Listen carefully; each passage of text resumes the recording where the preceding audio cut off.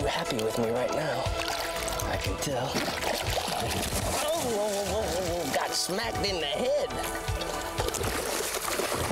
See, they're never done till they're done.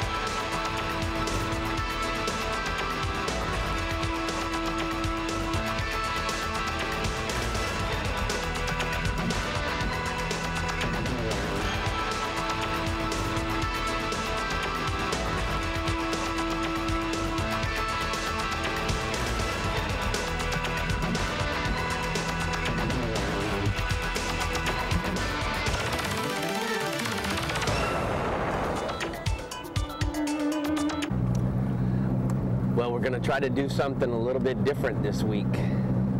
On this Sportsman's Adventure, I'm going to try to show you the how-tos about tarpon fishing, bait fishing for tarpon. Now, whether you're at Flamingo, you're in Port Charlotte, fishing off of Jupiter Inlet, or any of the bridges in the Florida Keys, the one thing that all of these places have in common when it comes to bait fishing is one, how you approach the area, two, what you do when you do find the fish, three, maybe what you use for bait.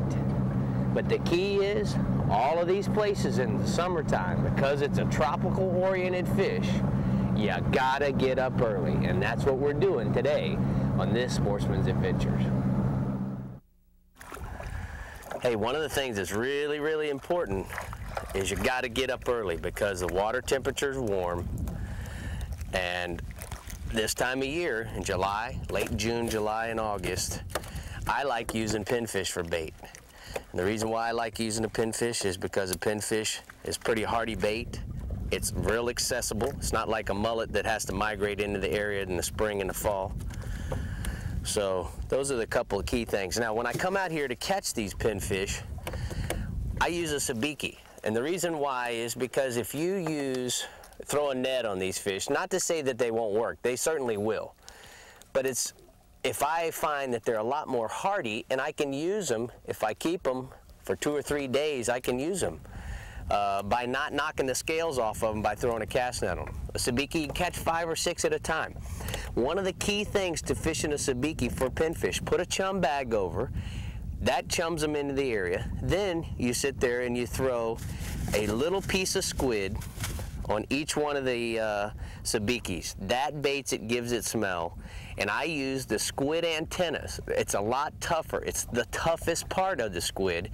And it'll stay on there for four or five different times of fishing it. So that's a couple keys. Oh, there he is right there. Another one right here. We're slowly starting to get into him. It's real important that you, when you're using your trolling motor, that you use your trolling motor, one, at a speed where you're not changing the pitch. Don't be rotating the speed or changing the speed. Put it on a speed. This particular motor right now I got, it's a 12 volt Minn Kota, and I got it on just below 50. Have, take your time, get there. If you run in there wide open, the boat starts making noise, it's gonna spook the fish. Use a trolling motor to your advantage. Don't make it something that's a disadvantage. There's another little slick spot in my ripple. That fish roll right there.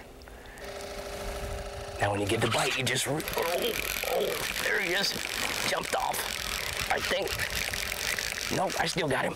Make sure you bow whenever you get a tarpon on. It's real important that you bow because that's when they'll break the line. See, if you do things right, be quiet, careful, you'll end up hooking this fish right away. I got a real mess starting to occur here. Oh boy. We're all right. I got it. Put this one here. This one here. Whoa. There we go. Coming up for a jump. Bow. Give him as much slack as you can. Now, the key, if you're little kids, fishing your kids or your wife, really important that it's comfortable for them. So these big rods, put the fish is under the boat. We're gonna put the rod tip all the way down in the water. Reel with the rod tip in the water till he comes back out this side. Very, very important. that you clear all the stuff. We're clear.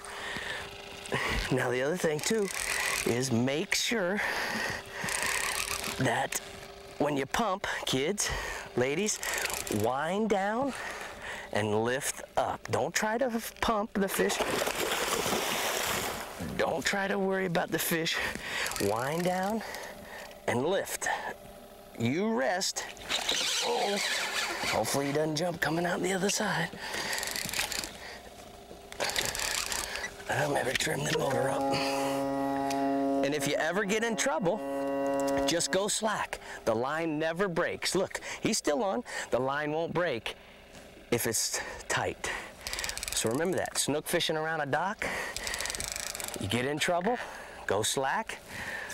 The fish generally relaxes a little because you're not pulling on him. He's not worried. And for your kids, remind them to wind the rod tip down. Wind. There's a jump. Bow. Wind down. Lift up. Ladies, it's real important. You guys, are, you know, we're not as strong as the men and even men, you know. For the little kids, one of the things I do with my little boys, they use the same rods I use. They use the braided line or they use 20 pound test. I have an eight year old and a five year old and they'll catch this fish. They can come out and catch this 60 pound tarpon, not a problem. The key is that I, they'll put the rod between their legs like this. Well, that can be painful. What I do is I either take a koozie and put it over the rod butt, a foam koozie, or I'll turn around and take a towel and wrap that towel around the rod butt. And by so doing that, what ends up happening is it becomes comfortable for them and they don't have to worry about the rod butt putting a big hole in a place where it doesn't belong. All right, well, let's catch this guy. He looks like he's about done. Nice little 60 pounder. I grab my leader, put my rod butt right here. Circle hook's exactly where he's designed to be.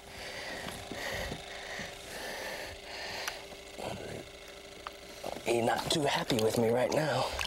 I can tell. Oh, whoa, whoa, whoa, got smacked in the head. See, they're never done till they're done. Get me all wet, trying to be nice to the fish and not drag him out of the water. And he did that to me. Not nice. All right. Let me get this hook out of him if I can. He's being pretty polite right now. Oh. Come on, fish.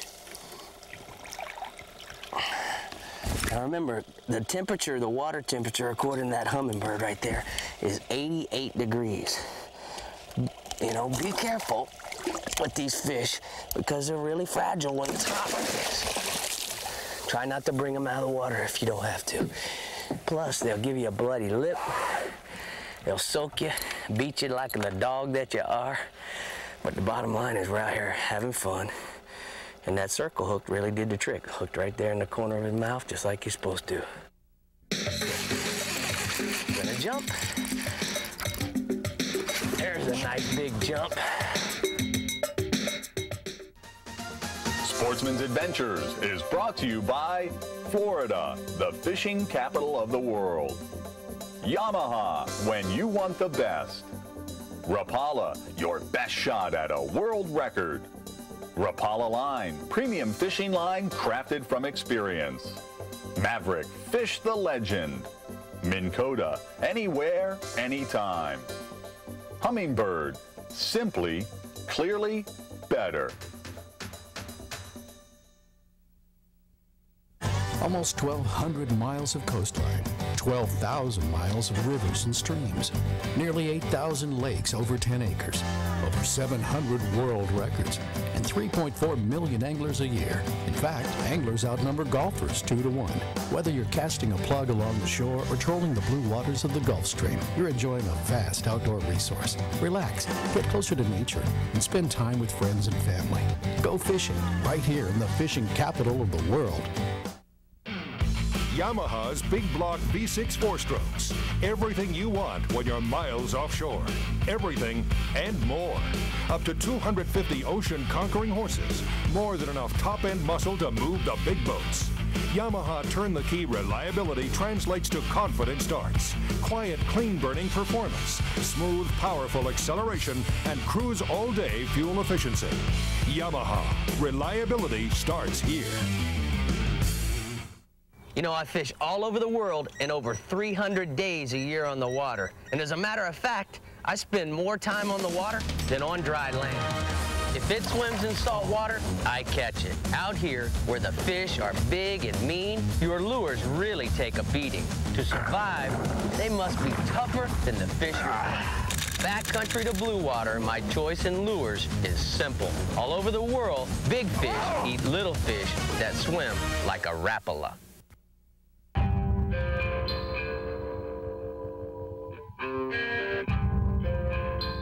It takes a little more to make it out here.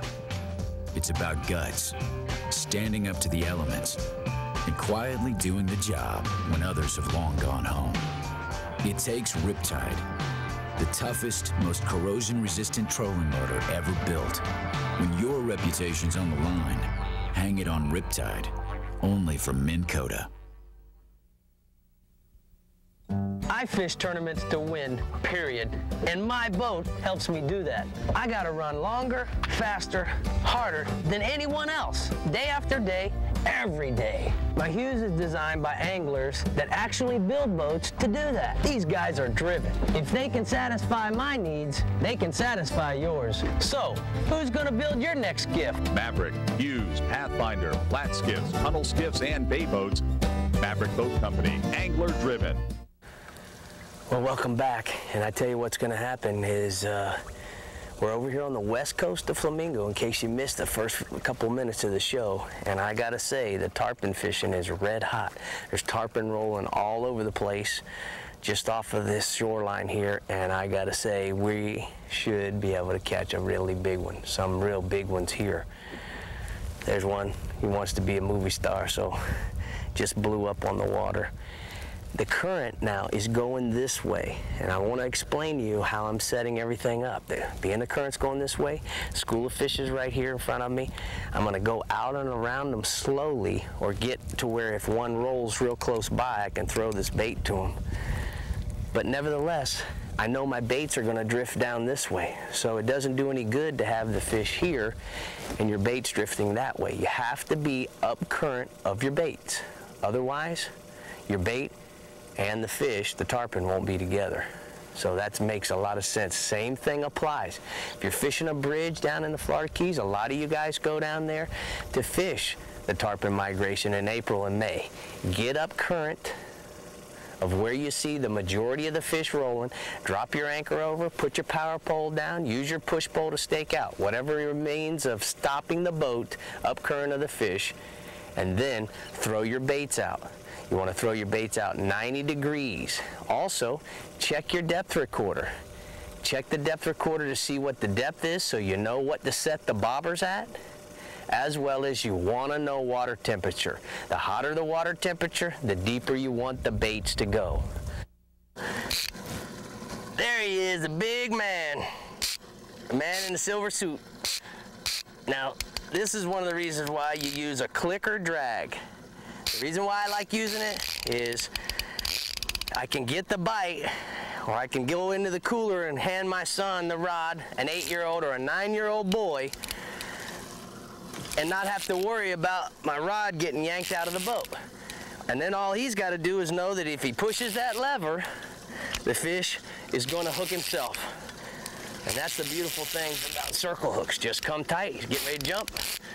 There's a jump nice 120 pound fish jumping. Now, one of the things that you might do now in this particular case, I don't want to do it because I don't want to disturb the area. And plus I feel like I'm capable of catching this fish without having to chase him down. But if you're with your wife or you got one of your sons or your daughter has this fish on and this fish is leaving the country, then what you want to do is go ahead and chase him down with your motor. In this particular case, we could use our Minn Kota keep it quiet. Uh-oh, something happened here. It's coming at the boat. Gonna have to go under this other rod. Wow, gets interesting. Bow to him if he jumps. But anyway, you can chase the fish down. He's gonna jump here in a second. Lifting up on his head to try to make him jump. The other thing too is a daddy or as an angler, you wanna watch the angle of the rod. Now watch, I'm gonna teach you how to fight these big fish. You're seeing real-time TV. We're not editing out the time it takes to catch this fish. This is actually, right now, so far, exactly a bit, this fish has been on about six minutes, no more. Let me see, I got, I got issues here. We got trolling motor, and we got push poles. Now you see, I didn't try to keep pulling. I went to my trouble and went ahead and cleared the trouble. Once I cleared the trouble, then I go back to pulling on the fish. You gotta remember, ladies, gentlemen, boys and girls, you got to remember if you get into trouble, you get around an outboard motor, you get around a push pole, around a trolling motor, loosen the rod down, slack line won't break if it's not tight. And you got to remember that. When you go to pull on the fish, I like to form a triangle between my arms and my body. This is what I'm doing right here. So that I'm not, one, hurting my back. I'm not hurting my bicep by having my arm bent like this. And I take this and put it in a situation put the rod butt so that I form a tripod or a triangle. This is what's going to allow me to put a lot of pressure on this fish, okay? Run to the back so we don't get in trouble. Always face your problems head on. Ralph Delph taught me that a long time ago, and it applies for everything, including your fishing. If you got a problem, go to it. Don't wait till it's a problem. If you see it possibly being a problem, you're standing on the front and you see him headed for the back, and your first thought process is, hey, he might run around the back of the boat. Hey, go to the back of the boat. Be back there and with a welcoming committee for when he gets back there. Gonna jump. There's a nice big jump. The key is though, when you're pulling on the fish, I don't want to see the rod like this, a big bend in the tip. Nothing's happening there. The meat of the rod, the fat part of the rod, needs to be what's pulling on the fish. So how do you do it so that you're pulling on the rod the right way. How do you pull on the rod? I tell my anglers, try to keep one, the rod between you and the fish. And number two, try to keep the three or four tip guides so that they're straight. All right, let's put this in the rod holder. A little short guy like me can walk right under it. We're still fishing out the back. Come up to the front.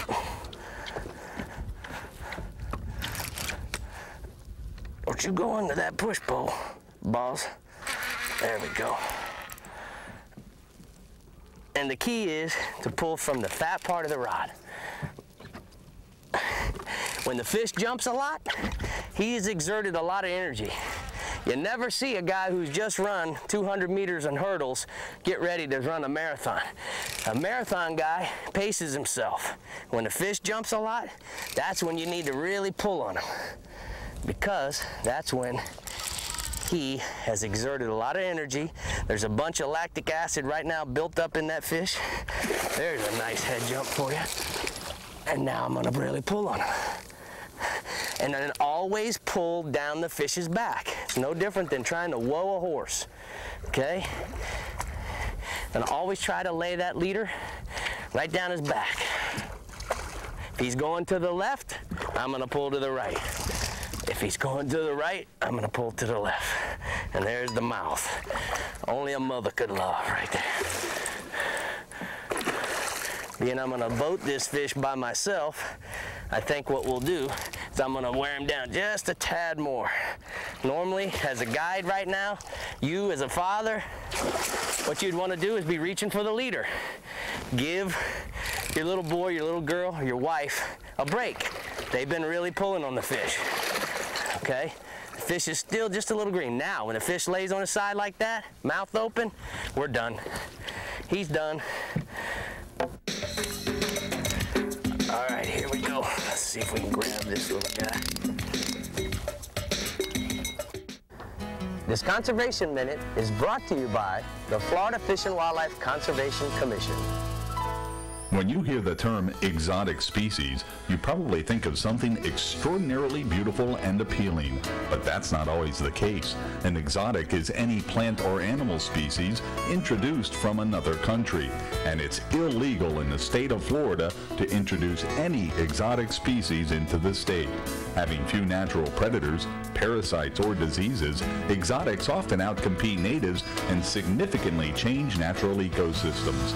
Well-meaning pet owners mistakenly believe they are doing the right thing by releasing unwanted pets into the natural environment. It is not the right thing to do. In fact, it is cruel to release exotic fish and wildlife into an alien environment. The animals must now compete in a world that is entirely unfamiliar and for which they may not be adapted. Most importantly, it's illegal. Let's keep Florida's environment natural. For more information, visit myfwc.com. Contender boats. Take it to the limit. Wherever you find fishing tournament winners, you'll find contender boat owners. First to the fishing grounds, first to the winner's circle. When you look for strength, versatility, and ocean ability, you find contender boats. Hand built, one by one, each and every one. Contender Boats is proud to introduce its new 23 Tournament Edition, the latest in true mid-sized offshore fishing rigs. Contender is committed to providing outstanding quality and performance. Nothing else delivers. Expect the most. Contender Boats. If you're a boater, you know it's required by law to carry at least one life jacket for every passenger on board. Maybe you're thinking, I can swim, I don't need a life jacket. Consider that the leading cause of death in boating accidents is drowning, even though 96% of fatality victims were reported as being able to swim. New inflatable models of life jackets can be worn as a waist pack on a belt. For more information about life jackets and boating safety, visit myfwc.com. And remember, safe boating is up to you. Wouldn't it be great if you could snap on a lure and just go fishing? With something that looks like and more importantly, swims like the real thing. With lures that come pre-rigged with the best components available. With baits designed by people who fish all over the world. But most importantly, you tie these on your line, you're going to catch some fish. The new Humminbird 900 series will change the way you look at fishing. You get the extra dimension of 3D sonar, full chart plotting and GPS, and exclusive side imaging with a picture-like view of the bottom, all on an ultra-wide, high-definition display. The 900 series fishing system doesn't just perform on the water, it practically walks on it. Humminbird, simply, clearly better. Yamaha's Big Block V6 four strokes. Everything you want when you're miles offshore. Everything and more. Up to 250 ocean conquering horses. More than enough top end muscle to move the big boats. Yamaha turn the key reliability translates to confident starts, quiet, clean burning performance, smooth, powerful acceleration, and cruise all day fuel efficiency. Yamaha, reliability starts here. Where else can you fish for over 50 species of game fish? Where have most world record fish been caught? Where are there more than 8,000 miles of coastline, 12,000 miles of rivers and streams, and 3 million acres of freshwater lakes and ponds? Florida, the fishing capital of the world. For more information, contact the commission office nearest you or go to myfwc.com.